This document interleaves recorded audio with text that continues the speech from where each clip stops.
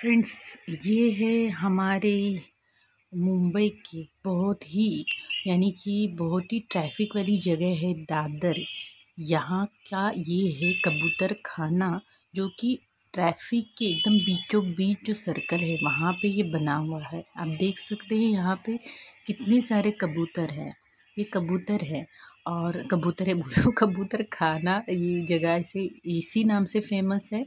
और यहाँ पे चारों तरफ़ ट्रैफ़िक होती है और बीच में ये सर्कल है। यहाँ पे इनके सारा खाने पीने का दा, दाना पानी जो भी उसका इंतज़ाम है और देखिए आप यहाँ पे देख सकते हैं और इतने सालों में कभी भी ना ट्रैफ़िक को इन, इन कबूतरों से कोई परेशानी हुई ना ट्रैफ़िक की वजह से कबूतरों को कोई परेशानी हुई है।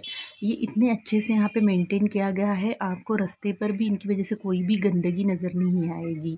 चारों तरफ़ से ट्रैफ़िक होता है और ये पास के घरों पर और बिल्डिंग्स के बिल्डिंग्स के ऊपर और आ, झाड़ों वगैरह पर भी जाके बैठ जाते हैं। देखिए आप रास्ता कितना क्लीन है कहीं पे भी गंदगी नहीं मिलेगी। पता नहीं ये इतने समझदार कैसे हैं। करोड़ों में यहाँ पे होंगे, कबूतर आप देख सकते हैं, करोड़ों में हैं।